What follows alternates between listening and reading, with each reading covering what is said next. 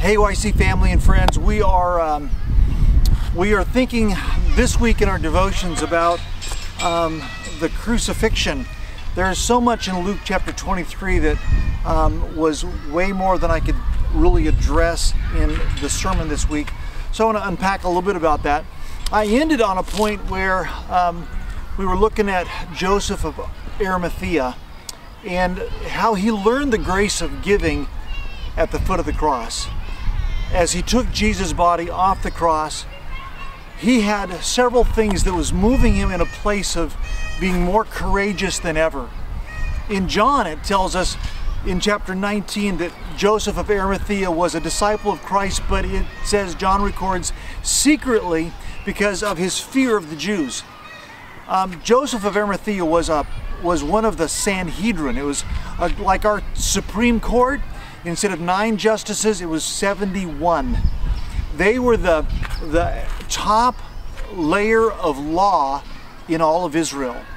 Joseph of Arimathea was one of those, and he was a secret disciple. He'd been watching Jesus from afar and believed in him as the Messiah, but he was not yet an overt disciple, a public disciple, a courageous disciple. He was a secret disciple.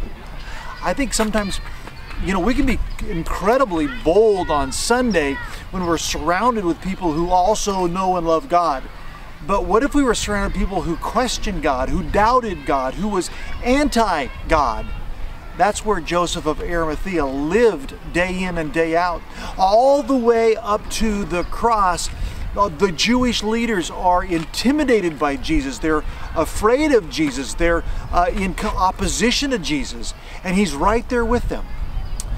But he moves and shifts and becomes not a fearful disciple, not a secret disciple, but a courageous disciple when he learns to step up and and object to the crucifixion.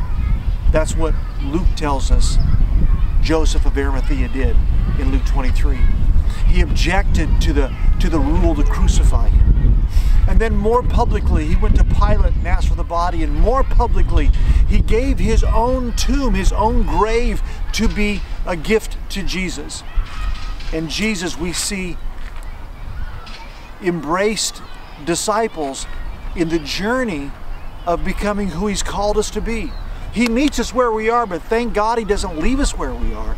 He moves us to a place, and it's a place He may move in your life today, where He wants you to not be a secret disciple.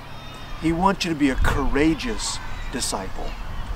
Today, as we start our week, I want to just pray with you that, that God would move in you and shine a light any, in, on any place in your life where, where you are intimidated you are um, embarrassed, you are reluctant to be public about your faith with Christ. Um, it's pretty bright out here. Huh. As we just agree with one another, I just want to invite you. Um, I could be I could be crying over Joseph of Arimathea, but it's just really it's bright on my little blue eyes. but I want to agree with you. None of us none of us want to be recorded in history as a secret disciple. All of us want to be recorded as a courageous disciple, a courageous follower. Lord Jesus, enable us to be courageous with this message, this gospel, this truth you've imparted to us. To this we commit ourselves today expand our faith this week as we look at what you accomplished for us on the cross.